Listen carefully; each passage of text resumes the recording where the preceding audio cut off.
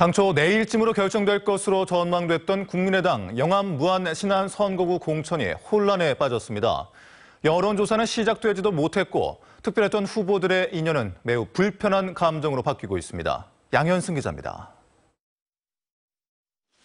지난 18일 국민의당 중앙당 최고위원회는 영암 무안 신안 선거구를 김재원, 박준영 예비후보의 경선 지역으로 발표했습니다. 당초 내일 후보를 확정 지을 것으로 전해졌지만 상황이 복잡해지면서 여론조사도 시작하지 못했습니다.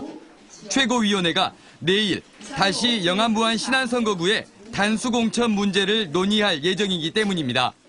저희가 뭐 할 말이 딱히 그거에 대해서 저희가 뭐 할 말이 없는 것 같아서 지금 현재 상황에서는 제가 그런 거 김재원 예비 후보는 성명서를 내고 과거 구태 정당에서나 있을 법한 미략이자 야합이라며 비난했습니다.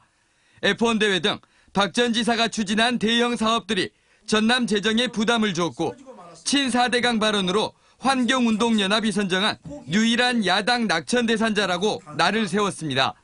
그리고 박준영 예비후보에게 경선 참여를 요구했습니다. 어, 지난 18일 최고위 작성했으면 그 절차에 따라서 바로바로 진행해야 되는데 그렇지 않고 있습니다.